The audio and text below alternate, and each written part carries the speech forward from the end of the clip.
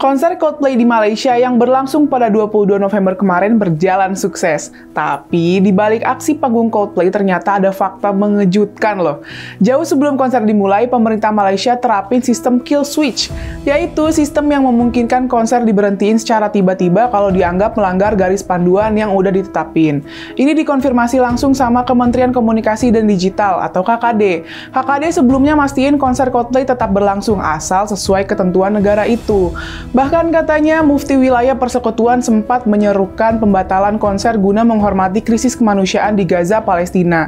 Dalam pernyataannya, KKD bilang panitia permohonan pembuatan film asing dan pertunjukan artis asing 13 Oktober lalu nyetujuin ketentuan konser Coldplay kok.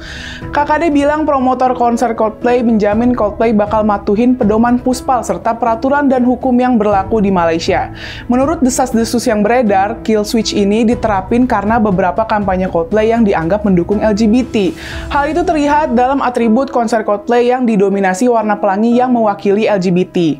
Tapi sebenarnya kill switch ini akhirnya diterapin di Malaysia setelah insiden yang dilakuin band The 1975. Band rock indie asal Manchester, Inggris itu emang tampil sebagai salah satu pengisi acara di Good Vibes Festival 2023 di Malaysia pada 23 Juli lalu.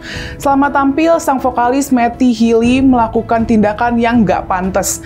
Mulai dari ngatain pemerintah Malaysia Malaysia sebagai kumpulan orang-orang bodoh dan menjijikan. Hingga puncaknya Matty mencium sang basis Ross McDonald di atas panggung dan dilihat oleh ribuan penonton.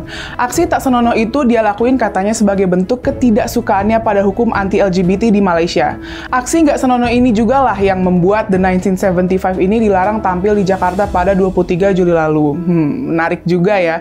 Kill switch ini bisa jadi peraturan nggak tertulis sebagai panduan bagi para musisi agar bersikap sewajarnya di tempat orang. Kalian sendiri setuju nggak sama sistem kill switch ini? Coba komen di bawah ya.